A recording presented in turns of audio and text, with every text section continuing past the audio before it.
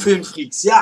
Ha, na, habt ihr Judgment Day YouTube überlebt oder was? Ah, ja, das, ich bin's wieder, euer Elektroboy. Ja, ich hoffe, ihr habt gut schon, schon geschlafen. Ich hab schon. Äh, ja, das ist meine Filmkritik oder meine, mein Fazit zu Terminator 2 3D, 3D, Judgment Day. Genau. Das ist es. Ja, so ein paar kurze vor. Wie, vor ja, wie soll ich groß anfangen? Wieder ungeplant. Ich habe mir zwar schon wieder Gedanken gemacht, was ich nun erzähle. Ja, äh, ich hoffe, ihr habt schon gute, ich hoffe, ihr habt schon gute, ich hoffe, ihr hattet ein paar gute Tage die letzte Zeit. Ja, die, die coole Filmzeit in äh, nähert sich ja langsam dem Ende. Also viel kommt nicht mehr, aber ich will jetzt nicht durcheinander bringen. Ja, ich habe schon geschlafen. Ich hätte gerne, genau, ich hätte, wo fange ich an? Ich hatte es mir eigentlich schon überlegt, aber naja, wie ihr mich schon kennt, ist es halt alles noch ein bisschen anders. Äh, ja, ich wollte eigentlich die, Film, die Filmkritik direkt noch, noch gestern nach dem Film machen. Hätte auch gepasst, schon vom Datum her. Da gehe ich gleich drauf ein. Aber irgendwann ist es der Akku leer. Ja? Und ich hatte gestern, nur mal ran als Info, meine erste Yoga-Session und war echt begeistert und das war Wahnsinn, ey. Also ist echt schon nicht ohne. Ich, ich wollte schon mal machen und dann hat mein Fitnessstudio das angeboten. Schönen Dank ans Fitnesslauf Magdeburg, dass ihr das gemacht habt. Ich werde jetzt sogar, ich kann öfters jetzt reinschauen. War auf jeden Fall sehr begeistert. Ja, das nur mal zu vorweg. Nein, jetzt der Grund, äh, Terminator 2 3D und wieso am 29. August 2017. Das ist die Frage, das ist jetzt vielleicht einige Fragen, wieso? Und wieso bloß ein Tag? Genau, also 14. Das ist jetzt der Faktor. Genau, also als erstes Mal, nur weil ihr es gesehen habt, damit ihr mir auch glaubt, da, genau, da, genau. Terminator 2, Tag der Abrechnung, 29.08.20 Uhr. Genau, das war ja VIP. Nützt ja nichts, ist halt so, ja.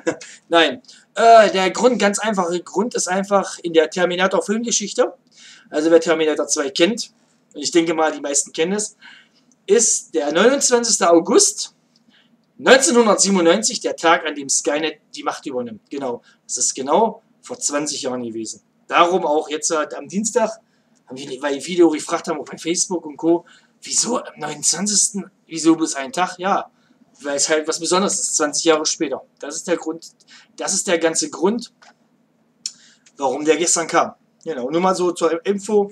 Dafür bin ich ja auch hier oder mache das auch, um mal ein paar Infos am Rande zu geben, nicht nur zu sagen, wie ich den Film fand ja, sondern ja, dann gehe ich jetzt euch jetzt noch ein paar Infos, also das, was ich jetzt so, so gelesen hatte, weil äh, der Frage ist dann ganz einfach, ja, wieso 3D und warum äh, 3D? Aber es gab dann 1997 oder damals als Terminator 2, es kam kein 3D. Nein, ganz einfach, es ist eine, es ist eine 3D-Konvertierung.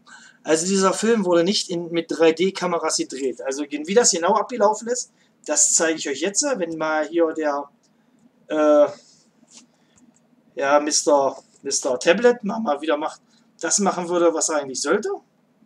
Aber da ist es gut. Und dann lese ich das euch mal vor. Genau, das ist das. Genau, das ist die ganze Grau. Hier, James Camerons, genau. Also ich fange jetzt mal kurz an, nochmal zur Info, damit das mal hört. Rund ein Vierteljahrhundert nach dem Kinoshot von Terminator 2, Tag der Abbrechung, kehrt Arnold Schwarzenegger als T800 in dreidimensionaler Form auf der Leinwand zurück sei dabei, sichere Ticket haben wir ja gemacht. James Camerons bahnbrechliches Science-Fiction-Meisterwerk mit Arnold Schwarzenegger in, seine, in seiner ikonischen Rolle wurde von Cameron persönlich in einer unglaublich immersives, ein, in, in ein unglaublich immersives 3D-Erlebnis konvertiert. Nachdem Terminator 2 die, die Kinoleinwände 1991 mit wegweisenden Special Effects erobert hat, hebt die 3D-Version den epischen Blockbuster auf ein neues Effektlevel und macht ihn bereit für das 21. Jahrhundert und eine neue Generation von Fans. Unter Aufsicht von Cameron und seiner Produktionsfirma Lightstorm Entertainment wurde Terminator 2 Tag der Abbrechung von Studio Canal und DMG Entertainment aufwendig restauriert und in 3D konvertiert. Deluxe LA stellt einen 4-Scan des originalen Negativs her, der von Technik Color Hollywood digital bearbeitet wurde. Die 3D-Konvertierung fand bei Stereo D statt. Das ist der ganze, ganze Grund. James Cameron hat das selber gemacht. Also es ist keine Fremdfirma, die diese 3D-Konvertierung gemacht hat. Also, und man hat es gesehen. Man hat es gesehen. Klar, jetzt kommen wir die Frage, 3D, echtes 3D, 3D-Konvertierung. Sieht man, sieht man, hat man auch in dem Film gesehen. Das siehst du. Du siehst, dass es halt konvertiert wird, aber trotzdem detailsmäßig und Du hast den tiefen Effekt nicht so extrem, wie gesagt, wie bei 3D, äh, echten 3D. Aber es war schon gut gemacht. Es war schon gut gemacht. Ich kann auch nicht, ich kenne, ich kenne auch nicht selber, ich habe auch selber nicht, was ich ein bisschen jetzt ein bisschen mich selber ein bisschen durch. Ich habe Terminator die ersten zwei nicht selber auf Blu-ray oder als Datenträger oder ich hatte Video-Download, das ist sowieso nicht so meins. Also so Video on Demand oder keine Ahnung.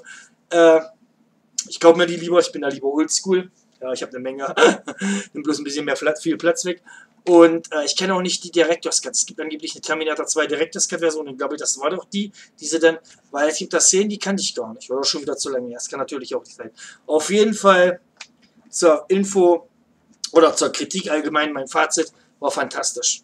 Es war fantastisch, ja, ich selber habe ja diesen Terminator nie im Kino gesehen. Ja, äh, das war dann auch doch ein bisschen vor meiner Zeit. Und ich muss sagen, super toll gemacht. Also qualitativ richtig gut, das 3D auch richtig geil. An einigen Stellen, wie gesagt, hat man es gesehen, dass es konvertiert wurde. Aber sonst war ich auch richtig Details, geil, schönes, klares Bild, der Sound richtig genial. Haben, denke ich mal, auch überarbeitet. Und es war richtig geil. Also ich kann es nur sagen, top. Top, ehrlich, Cameron, ich danke dir, dass du die nochmal ins Kino gebracht hast in 3D. Ich hoffe, dass neue Generation von Fans sind genauso cool. Klar, die Effekte können mit den heutzutage CGI CGI-Standard nicht mithalten, aber sonst auf die da. So ist es cool. Terminator 2 ist einfach cool wie Terminator 1. Und danach ging es halt nur noch bergab. Ja, da muss ich gestehen, habe ich dritten und vierten Teil, den fünften Teil nicht. Genesis habe ich noch nie gesehen. Meine Fazit, nein. Ja, aber das ist ein anderes Thema. Oder kurz gesagt, die Rechte von Terminator selber, vom Franchise sind ja, die gehören ihm nicht, aber so in anderthalb Jahren zurück will. Er will eine neue Trilogie machen, aber wann will er es machen? Keine Ahnung. Ich weiß jetzt nicht, wie er sich das alles so vorstellt. Naja, weil mit, mit, mit, äh, mit Pandora kommt ja auch noch Avatar. Da kommen ja auch noch, pff, naja, ein paar Teile. Nee, aber sonst, wie gesagt, und es war auch volles Kino, also da waren auch fast alle Plätze, ich denke mal so, Pi mal Daumen, 10, 12 in dem Dreh oder in der ersten Reihe, sagen wir mal, sagen wir mal 20, ich bin schlecht im Schätzen. Auf jeden Fall war das Kino massig voll, also hat, wollten auch viele sehen, also kann ich, kann ich verstehen. Und wie gesagt, hat sich gelohnt, also sickmäßig. An den Stellen haben sie es auch irgendwie überarbeitet, dass es auch wirklich da aussieht. Ja, Arnold Schwarzenegger habe ich mal was gelesen. Ja, und nicht so wie ein Stunt-Double. Mal gucken, jetzt muss ich noch was trinken. Ja, ja, mal trinken ist wichtig. Geht nicht so Wolwig-Tee. Ja, ist ein bisschen, ein bisschen Werbung. äh, ja, nee, auf jeden Fall. Top. Also ich kann es nur empfehlen, wenn er mal, der wird mal auf Blu-ray rauskommen in 3D. Wer Bock hat, kauft ihn euch. Ja, weil nochmal ins Kino kommt er nicht.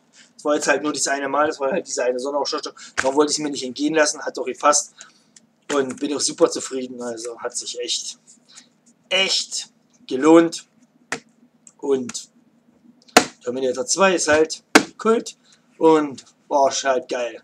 Nochmal Tom Arnold in seiner Paraderolle zu sehen. Ja. Ist so. Auf jeden Fall, das ist es. Das ist es. Ja, das ist halt, ich hoffe mal, so, mehr viel kann ich sonst dann nicht zu sagen. Also wie gesagt, das war nur mein Statement. Und wie, wie seht ihr selber, wie die Zeit läuft. Und ja, noch, ja, sonst äh, ist filmmäßig die nächste Zeit bei mir morgen noch was dran. Also jetzt ist es ja noch Mittwoch, morgen ist nochmal, und das seht ihr auch gleich. Ich werde da nicht zu viel sagen. Ich sage nur, ihr seid auch Technotypen und ihr steht auch drauf, wenn sich was wiederholt. Schaut ihn ein, nach diesem Video gibt es noch, noch den Trailer von dem Film, wo ich morgen reingehe. Mal was ganz anderes, ja, muss nicht immer Marvel sein. Es gibt auch noch eine andere Seite und jeder, der mich kennt, die weiß selber, Elektroboy, warum, ja. Genau darum. Ich hoffe, es genießt euch. Ja, das ist das. Da seht ihr den gleich, den Trailer.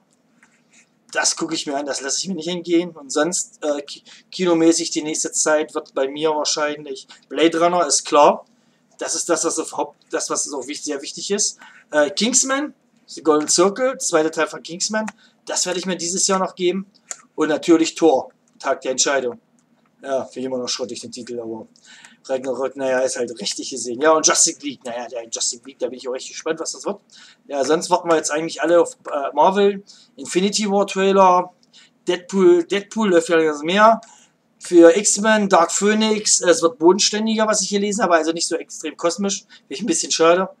Ja, Fantastic Four wollen wir nicht drüber reden. Dr. Doom Titelfilm soll kommen. Dann habe ich was hier lesen, die wollen jetzt irgendwie einen, Film über die Kinder von, von Frank, äh, von äh, Reed Richards und Susan Storm drehen. Über halt, äh, nein, ja, nicht Franklin. Reed Richards, ja. Äh, Franklin heißt ja sein Sohn und Valeria ist, ist seine Schwester. Ja, mal gucken, aber das kann ich mir nicht Nein, nicht drüber nachdenken. Matze, nicht drüber nachdenken. Nein, bloß nicht drüber. Naja, gut. Ja, das war so mal kurz vorab. Das war meine Filmkritik zu Terminator 2 3D. Judgment Day. Ich habe ihn überlebt. Ich hoffe, ihr auch. Lasst es euch gut gehen. Ich wünsche euch was. Ich wünsche euch eine angenehme Nachtruhe. Ihr hört was von mir. Bis zum nächsten Mal. Und ich kann nur eins sagen.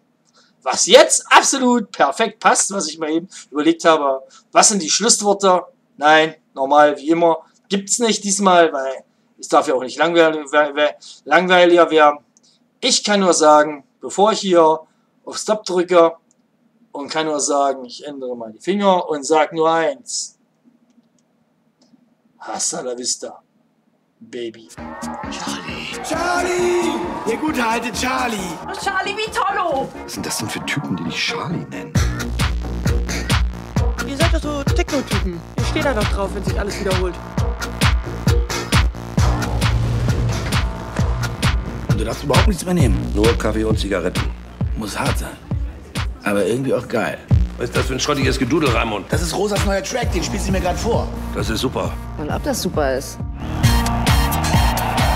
Das sieht toll aus! Ich hätte nie gedacht, dass das so ein großes Ding wird. Ich glaube nicht, dass es gut ist, wenn wir jetzt was miteinander anfangen. Ja, also nein. Jedenfalls nicht klug. Und ich bin im Augenblick mehr so auf klug gepolt. Also meine Herren, ab jetzt ist Magical Mystery Time. Mein Gott, diese Mucke hier. Wie haltet ihr das bloß aus?